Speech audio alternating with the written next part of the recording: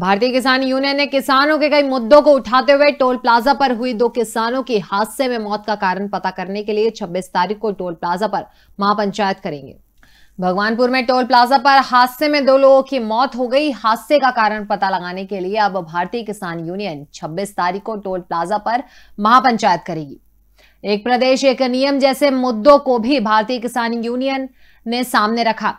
साथ ही हरिद्वार में बाढ़ से पीड़ित किसानों का बिल माफ़ करने, गन्ने का भुगतान करने और किसानों को ग्यारह हज़ार बीघा बतौर मुआवजा देने की मांग की। किसान नेताओं ने नेशनल हाईवे विकास के झूठे वादों पर हल्ला बोला और मृतकों के परिवार को नौकरी और मुआवजा न मिलने पर किसान नेताओं ने एनएच विभाग को अल्टीमेटम भी दिया है। तो जो हमारे सुखचैन जी और सिंह जी के दो पुत्र, किसान पुत्र, जो शहीद हुए थे टोल प्लाजा की सेवा करते हुए, जो सरकारी कर्मचारियों और टोल प्लाजा और भारतीय किसान यूनियन क्रांति राजनीतिक के बीच जो समझौता हुआ था, आज शासन प्रशासन उस समझौतों, समझौते का पालन कराने में असमर्थ है।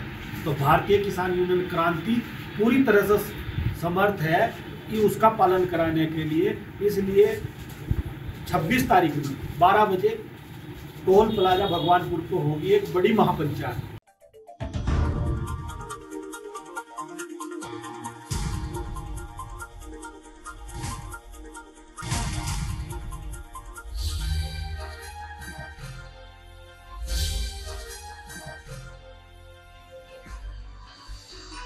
आप देख रहे हैं दखल न्यूज़।